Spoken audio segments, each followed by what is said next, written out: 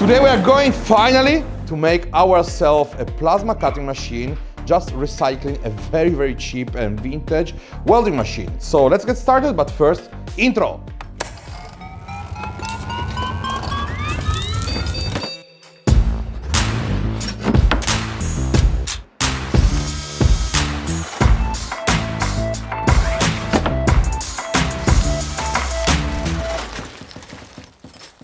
Until today, I always use my angle grinder to cut pieces of metal for my projects.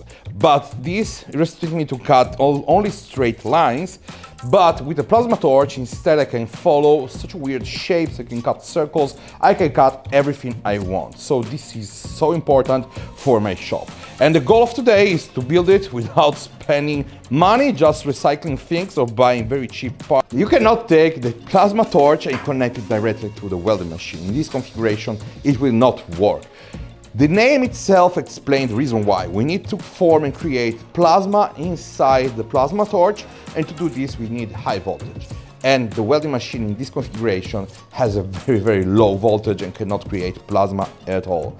So the other problem we have to solve is that the welding machine in this configuration is in alternating current, which means that this welding machine has two outputs and this isn't always positive and this isn't always negative. They switch very rapidly, almost 15, 50 times in one second, and this is alternating current. To use a plasma torch, we need to have direct current. So one pole has to be always positive and the other one has to be always negative. So let's get started and solve this main problem with a bridge rectifier with diodes. So a pretty huge one because I have to stand such high current. So let's start to cool it down. We have four poles. The two ones here on top is for alternating current and this one is output. We have direct current. Now we need to find some heat sinks. A couple months ago I dismounted this iMac and I've saved these two very huge heat sinks. You can in any case use any kind of heat sink. The important thing is to apply some heatsink paste so we can transfer much precisely um, with high performance the heat generated from the bridge rectifier. This works, but unfortunately took so much space and I have another plan. I want to recycle the chassis of this stereo for music and there's also a very huge heatsink that was from the amplifier itself. I then drill holes and connect other heat sinks and some fans and this basically is what we need. We need to let the extreme heat escape easily.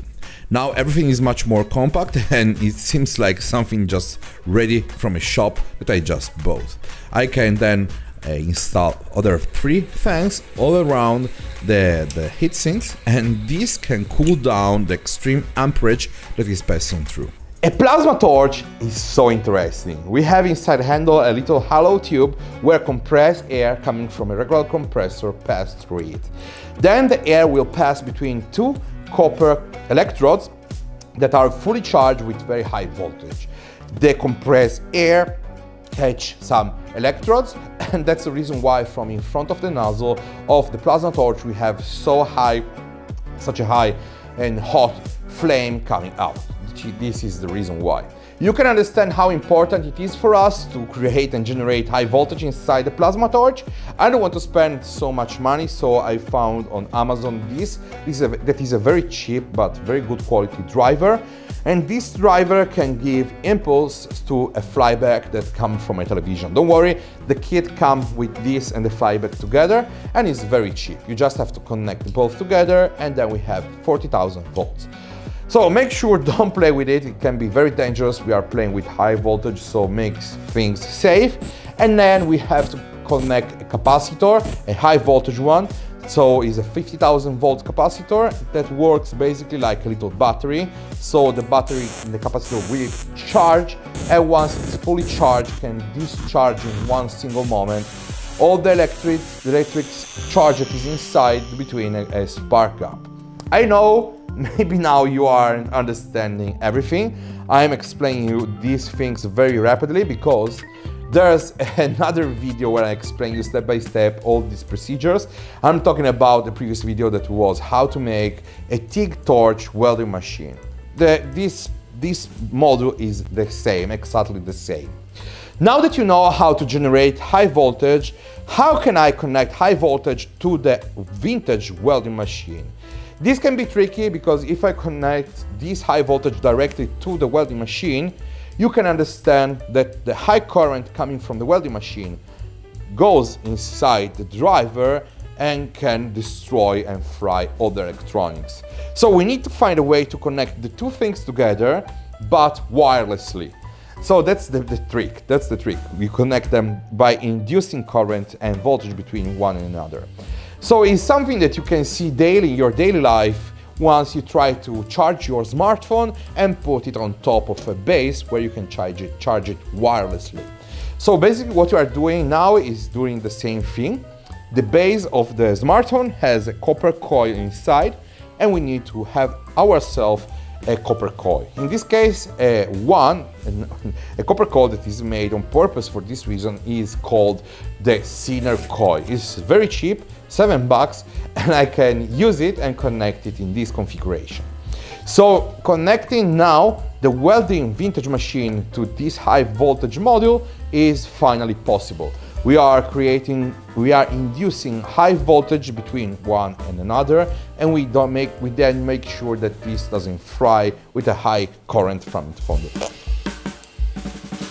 now, don't worry, I will explain you better how to connect everything. This I will call it the high voltage module. We can power it using 12 volts, in this case an all power supply from PC works great and everything will go inside the chassis of the stereo vintage one. I can then place everything and now let's move on and use some very thick cables. Copper coils are very important in this case, the thicker they are, the more amperage will flow through it. In this case, we are working with such high current and it is crucial to work with such a thick cables. If you put thinner one, they get hot and can fry itself.